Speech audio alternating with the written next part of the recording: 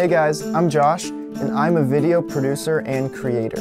The cool thing about what I do is I make videos with Legos.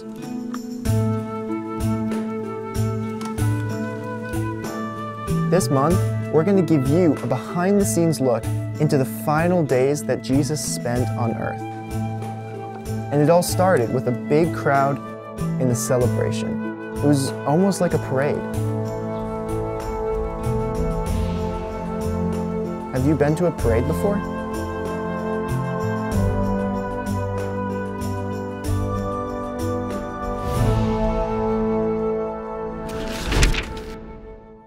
Jesus was traveling with his disciples, and as they drew near to the city of Jerusalem, Jesus sent two of his disciples to go on ahead. He told them, Go into the village in front of us, and immediately you will find a donkey tied up. Untie it and bring it to me. If anyone says to you or asks you what you are doing, say, The Lord has need of it, and the owner will let you take it. The disciples went and did what Jesus told them to. They brought the donkey to Jesus. Then they put their cloaks on the colt so that Jesus could sit on it. This happened so that a prophecy would come true. Here is what the prophet Zechariah, a messenger of God, had promised many years ago. People of Jerusalem, shout, Look, your king is coming to you. He is humble and riding on a donkey. He is sitting on a donkey's colt. Jesus rode the colt towards the city of Jerusalem, and there was a large crowd that had gathered. Most of the crowd spread their cloaks on the road for the donkey to walk on. Others cut branches from the trees and spread them on the road to honor Jesus. There were crowds of people that walked in front of Jesus, and crowds of people that followed behind him. All of the people were shouting, Hosanna!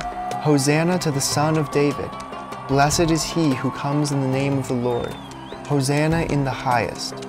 The whole city was stirred up, saying, Who is this? And the crowd said, This is the prophet Jesus from Nazareth of Galilee.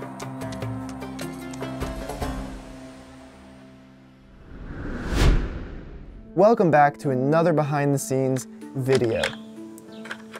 So one question I get asked a lot about my LEGO videos is how I get the characters. The answer is that my family and I actually make them.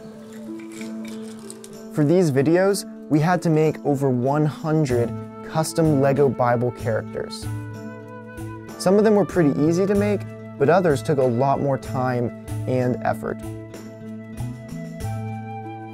Here's how I make a simple Bible Times costume. To start, I pick a torso and legs that match the color of the costume I have in mind.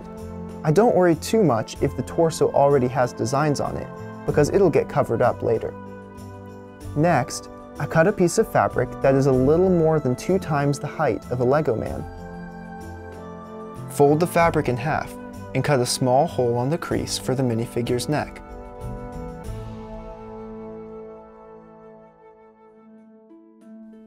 Finally, I create a sash to wrap around them, securing it with a bit of adhesive putty and a mini rubber band.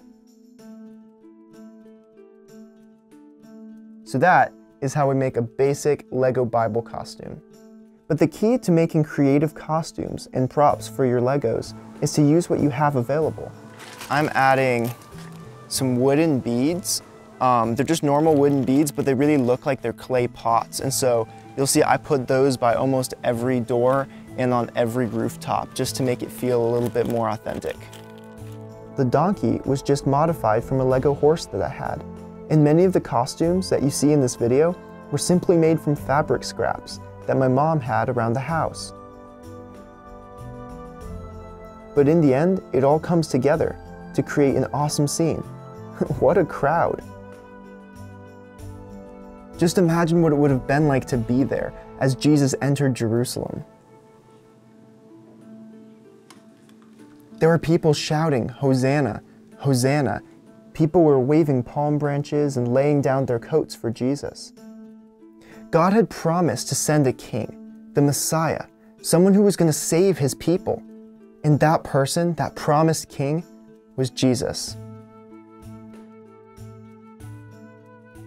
Well, I need to go film some more videos, and so I'm gonna have to say goodbye for now. But I hope you enjoyed this, and I can't wait to see you in the next behind the scenes video. Bye.